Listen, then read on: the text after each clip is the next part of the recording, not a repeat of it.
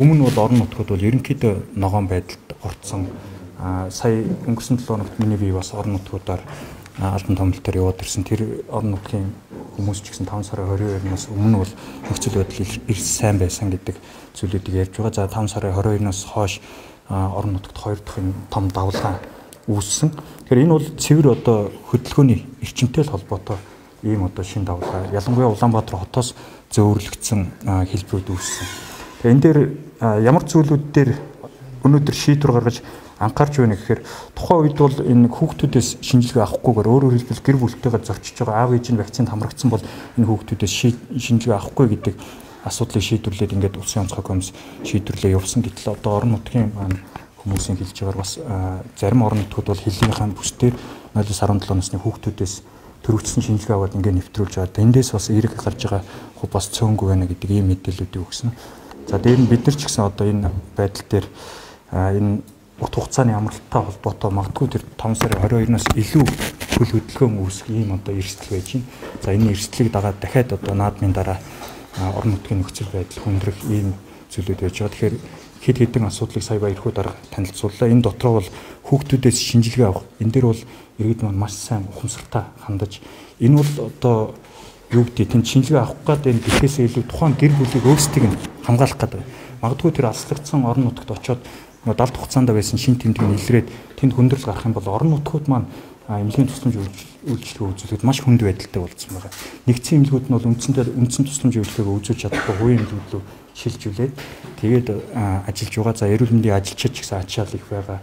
Дээр нь орон нутгийн эмнэлгүүдэд та бүхэн мэдж байгаа. Элчин гэмчлэгээний хөгжсөн хангалтууд эмч мэрэгчнүүд хүрэлцээг тухайлбал нэг орон нутгад бол хоёрхан элчин эмч Тэгээс төгсөө зайгүй хоёулаа одоо 24 цагаар ээлжилж одоо ажилтдаг гэх мэтлэнгээр ийм одоо зүйлүүд байгаа учраас энэ дээр нэгэнт одоо засгийн газрын шийдвэр, улсын онцгой комиссийн шийдвэр гараад ийм боломжийг урт хугацааны амралтыг бас хөдөө орон нутагт одоо зорчих энэ боломжийг олгож байгаа учраас иргэд өөрсдөө хариуцлагатай шинжилгээг өгөх, гэр бүлээ хамгаалах тал дээр анхаарч ажиллах шаардлагатай.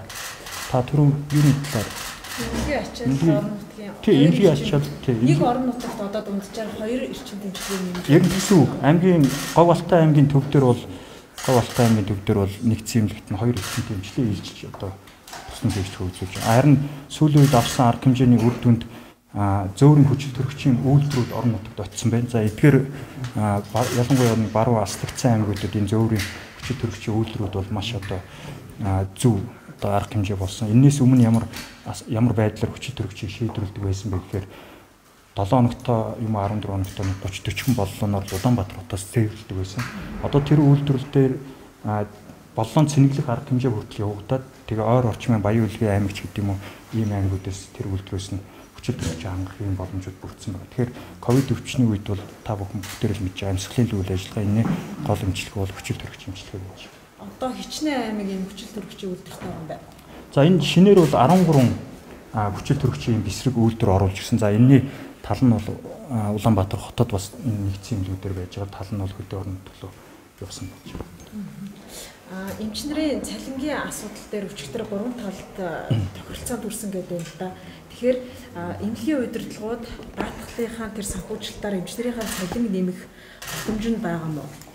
Ер нь 2021 онд эрүүл мэндийн салбарт гарсан томоохон өөрчлөлтийн гүйцэтгэлээр санхүүжих боломжийг бий болгож өгсөн.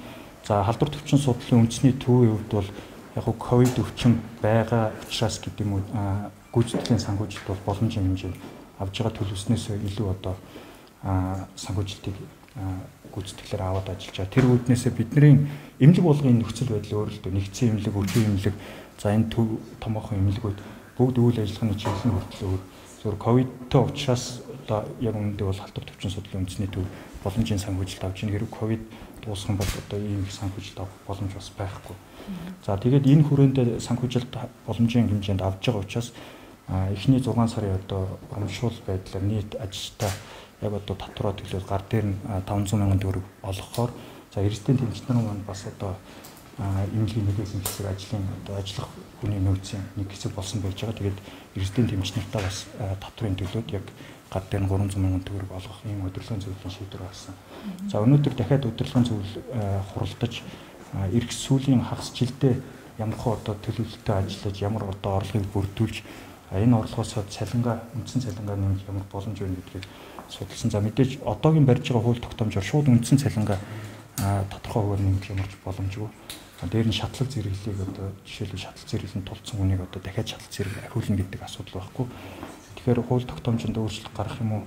Одоо эсвэл гарахгүй бол бид нэр нэмэлт урамшуул байдлаар нийт ажилтны цалинг 30%-аар нэмэх ийм боломж байна гэдэг ийм шийдвэр гарлаа. Гэхдээ энэ дээр бол бүх одоо ажилчид маань нэлээд одоо дайчилж ажиллаж өөрсдөө дайчилж ажиллаж ижлийн төлөвлөлт биелэлтэй хийм тэгээд цаашдаа бол мэдээж одоо бол ингээл адилхан бүгдээрэнд нь 500 мянга шиг мөнгө олгож байгаа боловч цаашдаа бол мэдээж гүйцэтгэл нь ямар байна тэрэнд нь одоо уйлдсан цалин мөнгө нь олгох талаар.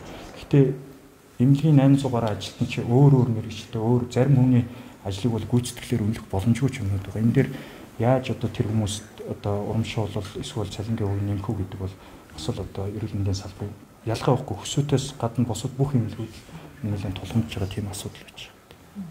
Энэ тарианы нөөц ер нь хэр байгаа вэ? Өрхийн эмнэлгүүдээр PCR шинжилгээг авахгүй гэр бүлийн гишүүдээс нь одоо сонголтоор төрөвчлэн шинжилгээ авч байгаа гэдэг мэдээлэл. Улаанбасад хэрэглэгддэг тариа гэдэггүй бол би нөгөө тэмдэглээг болохоор энэ тарианы хувьд бол одоо бол нэгдсэн худалдаа авалтаар ихэвчлэн эрүүл мэндийн яам одоо гол гол вирусын эсрэг энэ тариаг нийлүүлээд яваад байгаа. А цаашдаа ингээ гүйцэтгэлээр санхүүжээд ирэхээр ер нь сая хоёр сайдын хамтарсан тушаалаар гүйцэтгэлийн санхүүжилтийг нэлээд нэмэгдсэн шүү дээ. Тийм учраас цаашдаа бол эмнэлгүүд энэ энэ тариагаа өөрсдөө худалдаа авах тэр тэгэл одоо PCR шинжилгээг эрүүл мэндийн даатгалаас 50 мянгаар санхүүжүүлж байгаа. Тэр энэ 50 мянга гэдэг бол ер нь одоо боломжийн юм шийдэл байгаа. Тэгэхээр бүх одоо улсын эмнэлэг эрүүл мэндийн даатгалаар энэ санхүүжилтийг авч авах боломжтой учраас энэ хүрээнд PCR шинжилгээгээ илүү л олон шинжилгээ хийх тусмаа тэр эмнэлгээ одоо гүйцэтгэл орлого нэмэгдэж байгаа учраас энэ дэр бол нэлээд эмнэлэг болгоно бараг л магадгүй уралдаал хийх юм хэмжээнд очиж байгаа. Одоо тэрнээс хойш суух ямар ч одоо шалтгаан шалтгаан байхгүй.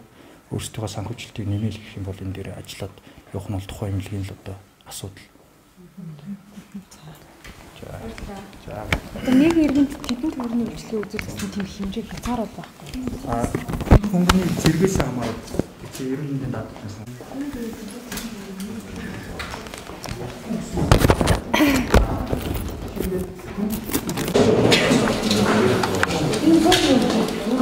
Миний